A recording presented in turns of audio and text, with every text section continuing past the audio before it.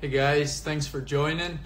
Um, we're here with Sports Shoes Live, um, and today it's going to be myself, Stephen Scullion, and I'm just waiting for Emile to join. I think I can um, invite him, or he has to invite himself.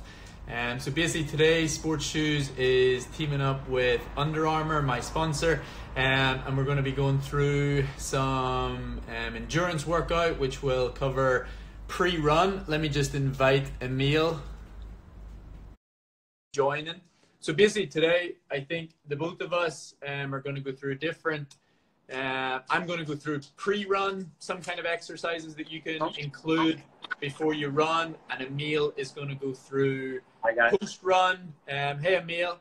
Um, so Hi, how you I doing? guess to get started, my name is Stephen Scullion. I'm an Under Armour professional from Ireland. I'm back in Belfast training under lockdown, like most of you guys have probably had to deal with. Um, I'm a marathon runner. I'm the reigning Irish marathon champion. Um, and I qualified for Tokyo 2020, now 2021 Olympics at the beginning of this year when I was fifth place at the Houston Marathon. Um, and yeah, so yeah, it's been tough enough training under lockdown, but hopefully little um, videos like this and, and at-home workouts and little tips can can help you sort of keep going. So I'll pass it over to you, Emile, if you want to introduce yourself. Okay, hi guys. Um, my name's Emile Cairess. Um, I'm 22 years old. I'm from Bradford in Yorkshire. Um, I'm an Under Armour professional runner uh, with Scullion. Um, I race 10k and 5k. My PBs are 13.37 for 5k and 28.38 for 10k. And I'm also the European Under 23 bronze medalist the 10k.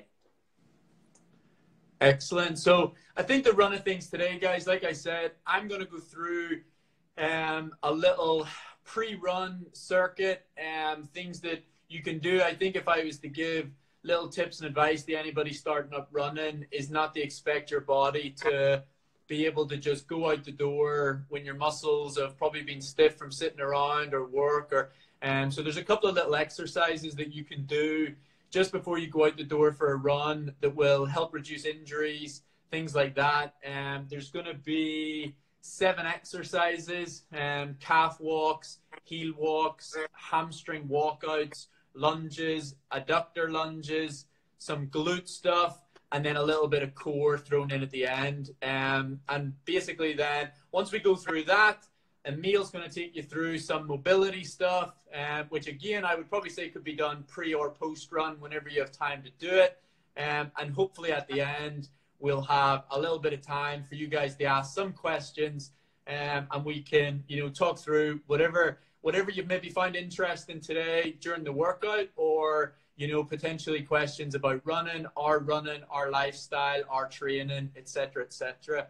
Um, so yeah, really excited to go through this. One challenge I probably would say to you, um, along with Under Armour, as you know, um, Under Armour shoes have the ability to be connected. Um, you can basically connect your shoes straight to an app, the Map My Run app, um, and it's automatic, and you don't need to carry your phone and things like this. You just have to set it up before you leave the door, connect the shoe to the app, and off you go. And so the challenge would be if you do start implementing the likes of what me and Emile show you today, to start keeping a track of does your consistency improve? Does your cadence improve? Does your speed improve? Are you able to run a little bit more each week without getting injured? And that's maybe just a really good platform to start doing things like that. So, look, I'm going to start, um, and the first thing we're going to do is some calf walks. I, I did go through the exercises, but I'll go through each of them again as I'm going. And we're basically just starting with the lower limbs, calves, um, and then we're moving up hamstrings, quads, glutes, hips, and a little bit of core. If you've ever been in the gym, you'll know that when you do the first exercise, it often feels a lot tougher than when you go on to the second or the first set and then you go on the second set. And that's basically because the muscles aren't switched on yet. So some of the stuff we're going to go through today is to help get those muscles switched on before you even leave the house. So without further ado, I will start. I'm going to go up and down the living room, some calf walks, and then I'll move to heel walks. And really think about form. All the time that you're running, you should be thinking about your core being engaged. Like if you're doing calf walks, and the key word there is calf, think about your calves working, think about your calves being strong, etc., etc. So here we go. First exercise, some calf walks, up on the toes, and you can walk about 10 paces. And flip. I'm walking back. Again, up on the toes, thinking up nice and tall. And basically, what I would recommend with those calf walks is if you can get about 40 meters worth of um, a stretch, you can you can go back and forward. With things like this, you don't need to overdo it. So you might just do one set up, one set back, have a little bit of rest, one set up, one set back. So let's repeat that. Up nice and tall on the calves. Thinking about keeping your balance. coming back.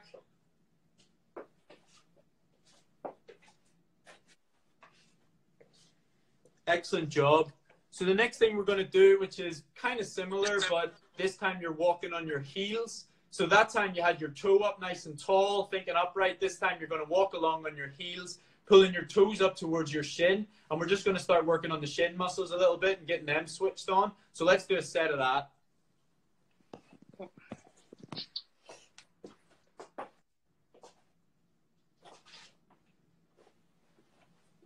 Switch it back.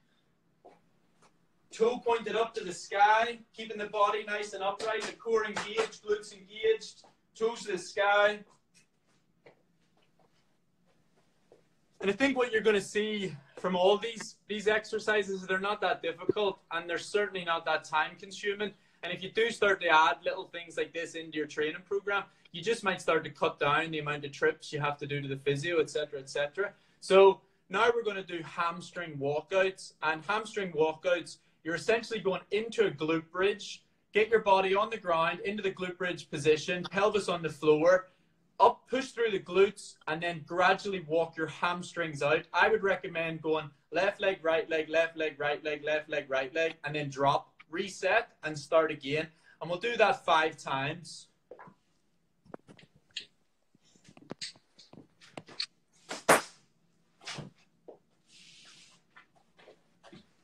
So I'm down.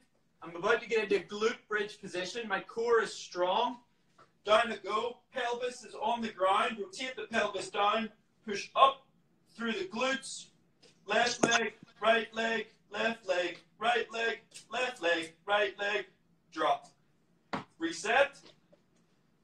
Up. Push up. Left leg, right leg, left leg, right leg, left leg, right leg. Drop. Reset. Remember, pelvis on the ground, core nice and strong, glutes engaged. Push up through the hips, left leg, right leg, left leg, right leg, left leg, right leg, drop. I'll leave it at three sets for today.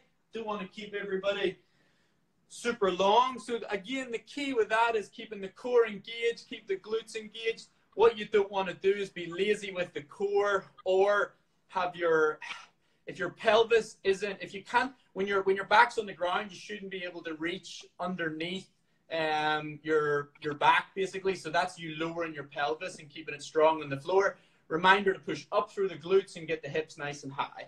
Okay so next thing we're going to do is some lunges. Everyone should sort of know um what's going on with lunges. And i'm going to do lunges forward and lunges back. So hopefully you can see that. I'm probably going to recommend we do eight forward, eight back, etc., etc. Nothing too crazy. It's not supposed to hurt you. We're just starting to prime the muscles. Opposite arm with opposite legs. Lunge. Lunge. That's two, three, four, five, six, seven, eight, now we're going to go backwards. One, two, three, making sure the core stays engaged. Four, up nice and tall. Five, six, seven, eight. Superb, guys. So now we've basically covered calves, you know, our calves, our shin muscles, our hamstrings, our quads. We should be getting pretty primed. If you don't own um, a TheraBand, I'm going to use a TheraBand. I'm going to put it around my ankles. I'm going to do some crab walks. I would suggest that you do crab walks again on the 40 meters, down the room, back up the room, down the room, back up the room. Um, if you don't have a TheraBand, I'll show you quickly that you can do some exercises without it. Um, so I'm going to go down the room, back up the room, and then I'm going to show a couple of clams, etc., etc., um, that you could do if you don't have a TheraBand. Is this something you do every day, Colin? Sorry, buddy? Is this something you do every day? Like pre Yeah, when time permits, but as we've said, it's not a super time consuming thing. What about yourself, Emile? Um, yeah, I tend to try and do it, especially before sessions, just to get all the muscles activated. Sometimes Yeah. Don't tend to do it before, just an easy run. Reminder, guys, core nice and tight, glutes firing.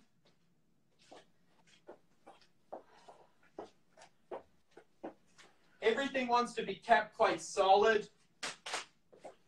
If you can keep your body, one of the things when you're racing 10Ks, half marathons, marathons, if you can keep your body nice and solid, the, whether it's through the core, whether it's through the glutes, whether it's through the abs, you waste a lot less energy. Um, so now I'll show you quickly a couple of things you can do if you don't own a TheraBand. And, and you're just going to lie on your side and raise your, your right leg first, as you'll see. Lying on the side, right leg, raising it up. And then obviously you can swap left leg. And you'll feel, make sure you can feel that you're lifting from the glute. Superb. Okay, so the last thing that I'm going to take you through today is basically just hopefully this whole time you've been thinking about your core. So I think what people don't realize is that every exercise you do, you can be thinking about your core. And you shouldn't just be doing lunges, you shouldn't just be doing hamstring walkouts, etc., etc. Always be focusing on the core, keep the core strong, keep it activated, keep it tensed, etc., etc. So the last thing we're going to do is just some mountain climbers. We're going to get down in the press up position and drive the right knee to the left elbow and then the left knee to the right elbow. And so we'll do eight on each side.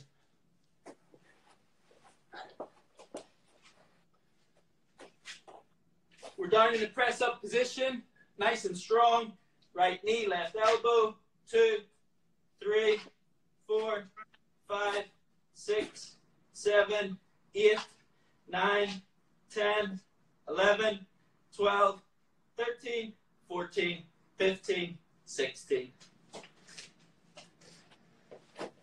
All right, guys. Good luck doing that. I am starting to sweat a little bit. Um, and by now, you should be thinking that you're ready to go for a run. The first time that you do this, you know, you might feel a little bit tired. You might feel like you worked a little bit, but your body will get used to it. And I promise it's going to pay off. So I'm going to now pass it on to Emile, um, and he might tell you now some stuff you could do pre or post, whatever suits. Okay, guys, so I'm going to take you through a little um, mobility routine. I find this useful to do on the on the morning after you get out of bed, just uh, loosen everything up, just to reset your body to normal, and then also just for recovery, it gets the blood flowing, and then yeah, that just helps with feeling better the next day. So it's something that you can do twice a day. It only takes ten minutes, so yeah, something something you might want to incorporate into your routine.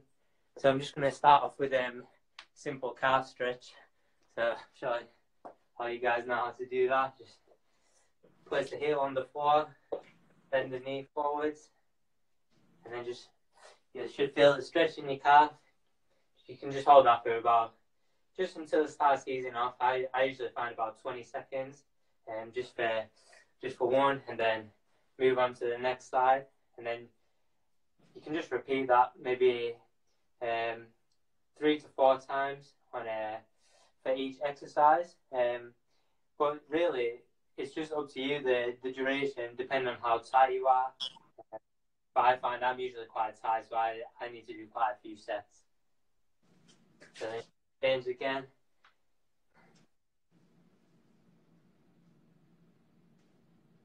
And then if you start, if it starts easing off, you can just get a little deeper into the stretch, and then hopefully just loosen everything out. One thing I would um, just be cautious of though is to to not spend too much. Some people like spend hours stretching. I can find that um, that can make you feel a bit lethargic when you're running because it um, decreases the muscle tension, um, which is uh, and it's important to have the right balance of that when you're doing your training sessions, especially. Okay, so so the next one we're going to move on to is a deep squat with a, a twist. So this is a little bit of activation as well, but uh, the twist is just bringing the mobility into that. So I'll just take you through that now. So you squat down. Remember to squat through your heels. And then place the arms in between your legs and then push your arm against the knee and then twist and face the sky and then back up. So that'll be one rep. So you want to do five to six reps each side. So you should feel a stretch on the inside and then also in your upper body. Some people can neglect the upper body um, because if you have a tight back, tight chest, that can affect your breathing, can affect your balance, things like that, and that's all important with running because it's a total body exercise. What's your usual mobility routine, Scully? Um, so I think when I started the marathons, um, my body, like you said, it, it got pretty tight, and um, I had to start doing quite a bit more yoga. Um, I, I, I put it down as you can build as much fitness as you want, but if your chassis and that's your body gets too tight, it'll just struggle in races. No, hundred percent. I feel like that's a sort of the reason to stretch isn't to gain any real advantage. It's to have no disadvantage in training. You don't want to be going to training, turning up and think, oh, my hamstring's tied today. And I guess that's a lot about preparing for training, just making sure when you turn up that you don't have any excuses. So stretching and being mobile is one of the ways to eliminate the excuse of being too tight. Okay, so we'll move on to the next one, which is a, a knee hug like this, and then you drop into a lunge and then you twist over. So I'll just do that. So again, five to six on each side. It's also a little bit of activation as well. So lunge, and then drop in, and then you twist, bringing your arm over, and you should feel a stretch in your hip flexor and all down your side.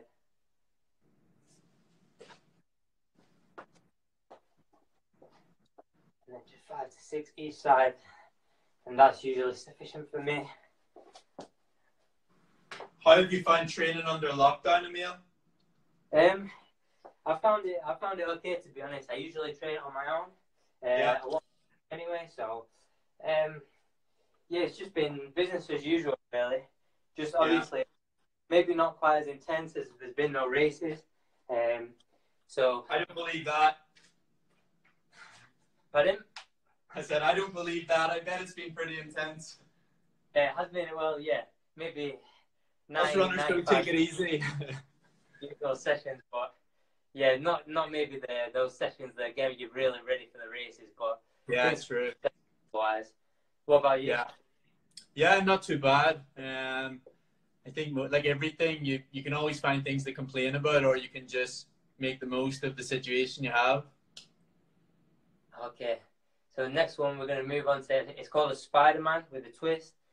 So you sort of lunge down, but then you go really deep into the lunge. So your knees almost touching the floor.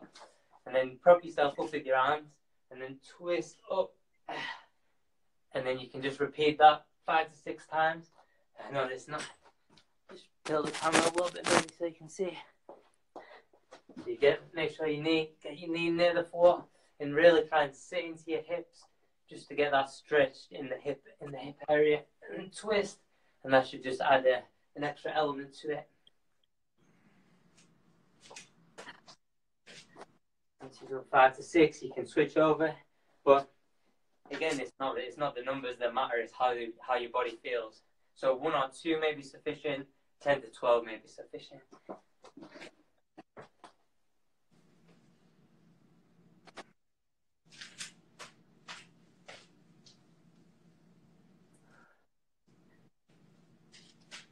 How long have you been doing this for, Emile? Um, I've actually only not been doing it too long, maybe since February. So maybe. Have you noticed much changes? Pardon? Have you noticed much changes from doing this? I think the biggest difference is, um, like I mentioned earlier, just when I turn up to training, I'm ready to go. And if I'm if my breathing's okay, I can get down to 40 a mile or something like that. Yeah. Some, you might have one of them days you're feeling great, but your hamstrings, your calves, you, you might be wanting to get down to some quick paces, but if you're not mobile, then your body just won't let you. So Yeah. like, body, the chassis has to be in a Yeah. the aerobic system. So yeah, we'll just move on to the next one, which is a hip flexor and hamstring exercise. So just lean, knee on the floor, get that knee forward, and then just stretch stretching, and then like this, just forwards and back, rocking with the hips. Try not to bend in the arch, the stomach like this. Keep the back straight, and then hamstring, hip flexor, hamstring, hip flexor, hamstring. Yeah, you've got it there, Scully, and you're doing well. Maybe I haven't been doing enough of this because I'm pretty stiff. Yeah, you have to be very hamstring. Maybe you need to get a few more of these exercises in. Yeah. When when you get competent at the routine, you can sort of uh, they call it like a flow routine. So you can really bring the time down to maybe five six minutes of stretching, but there's no real downtime in between each one. So No. no excuse not to get it in. Okay, just a couple more. And then, okay, the last one, so the last two. So uh, this is a yoga one, so you'll know this one. So you got, you start in the, the downward dog, which is like this. Just stick your bum in there, basically keep your back nice and straight. And then we're going to progress it down, flip your head down, into an upwards dog, which is like this. So we're going to alternate between those two positions. Is this something you do in your yoga routine? Yeah, I've probably been pretty lazy with my yoga routine. Um, that's maybe where the motivation side of things slacked a little bit because of COVID. Um, but actually, yoga and mobility, and this is probably the most important time to do this stuff because we don't have access to physio and massage, and I think self care is very, very important. Yeah, that's uh, that's definitely true. Just Yeah. keep it free and keeps you off the physio bed, and then especially in Poland when the physios are on. So the final one today that I'm gonna uh, put you through is downward dog into a pigeon stretch, which it sounds a bit weird, but it's quite simple. So we've got the downward dog like before, and then so we, and then it's like a breakdance move. So I don't know if you can. Camera's not the best angle. Sorry, guys. But you sort of bring bring your leg like this, and but it, you sat on the floor. Your hips are deep into the floor, so you should get a really nice stretch all in the in the glute. Yeah, Scully is doing it perfectly for you. So yeah, yeah. You know, so yeah, so like a little breakdance, just ten to twelve of them, five six on each side, and then that'll get the hips going nicely.